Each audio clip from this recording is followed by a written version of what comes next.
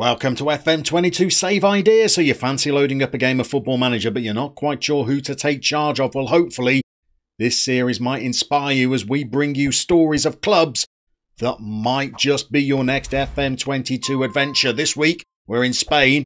Let's check out our first option. Andalusia in southern Spain is home to two of La Liga's oldest and best supported clubs. But whilst the club bearing the city's name is basking in the glow of a mammoth haul of trophies over recent seasons, Real Betis Balompié offer FM22 players the opportunity to guide a Seville based club to continental glory. Founded in 1908, Betis are a club with a proud history, but without the silverware of their city rivals. A solitary league title and two Copa del Reys is a meagre return for a club with such a huge support. But current boss Manuel Pellegrini is turning the ship around. Last season's sixth place finish has qualified Betis for the Europa League, ready for you to take over in FM22. Imagine European nights in front of 60,000 fans and getting to work supplementing what is already a talented squad. This is a club that has produced its own icons and paid world record transfer fees and contests one of the most passionate derbies in all of Spain. But FM22 is an opportunity to take a club of unquestionable potential and turn them into title challengers.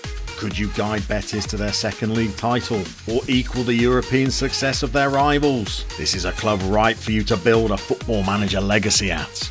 So Betis are a club offering you European football from the outset, but maybe you fancy a bit more of a longer term challenge but staying in the top flight. Well, if we search the Madrid clubs, there might be a club that's at the heart of its community, just waiting for you to take over as their manager. Spain's capital is home to two of Europe's most prestigious clubs. But whilst Real and Atletico are both clubs from the city, Rayo Vallecano draw their support from the Madrid barrio of Vallecas. In this part of town, the red sashes are adored, and whilst their rivals have a global appeal, Vallecano's significance is rooted in the club's role in the community. Rayo fans are not afraid to take on the authorities, and the club is famed for promoting social causes. The fans have helped shape the identity of the club and are not shy to protest when they feel the club has lost sight of its values. And led by the ultras group Los Bucanero, Vallecano's fans have developed a reputation for challenging fascism and fighting against the commercialism that exploits supporters. The origins of these ideals lie in Vallecas' history as a radical left wing neighbourhood in Madrid. But it was strengthened by the story of the late Wilfred Agbonavbare. The Nigerian goalkeeper played for Rayo in the 1990s when he was subjected to frequent racist abuse during games. This prompted Los Bucaneros to publish a mission statement outlining their intent to fight against discrimination in Spanish football. Rayo's association with the Nigerian keeper continued after his retirement, when he was diagnosed with a terminal illness. Unable to afford to fly to Spain to visit their father, the Bucaneros raised the funds to fly Agbonavbare's children to the country to visit their father one last time. Los Bucaneros are active in the local community and this has transmitted to how the club operates, with the playing staff helping raise money for local causes, such as the elderly Rayo fan that was evicted from her home. This is a club that is intrinsic to the community it represents, where fans take players on a tour of the neighbourhood to introduce them to the community. Rayo may have never won a major honour, but to their fans, the link between the club and the community is more important than trophies. But just imagine the satisfaction of securing a first piece of silverware for this newly promoted club. Could this be the adventure you embark on in FM22? Vallecano offer a great challenge, but maybe you want something in a slightly lower division. Maybe a sleeping giant that requires your managerial skills to rebuild them to their former glories. while Spain has just such an outfit. And so to our final club and the city of A Coruña in northwestern Spain. Here we find Deportivo La Coruña, a club that has experienced heartbreak, joy, and demise and currently find themselves in Spain's third tier.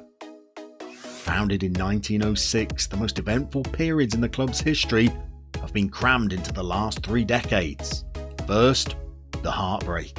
Opportunities for smaller clubs to secure trophies in Spain are few, with the behemoths from Madrid and Barcelona so difficult to depose. When an opportunity to win the league comes along, it has to be taken for fear that a second chance may never materialise.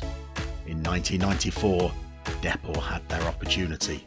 Topping the table going into the final round of games, Depor just had to better Barcelona's result to be champions.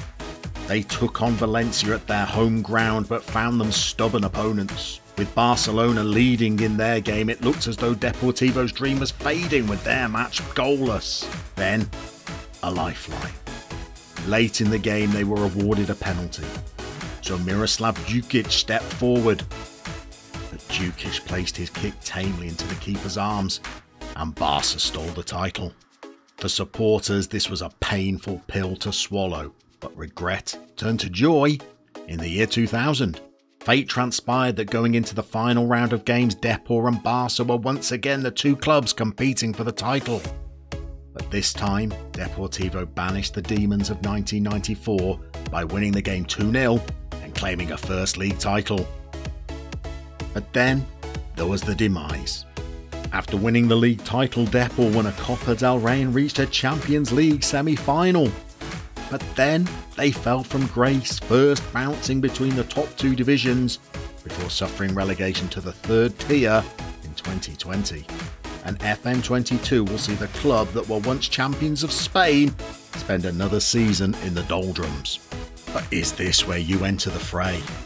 Can you climb the leagues and restore Deportivo to the top division before building a squad once more capable of challenging for honours?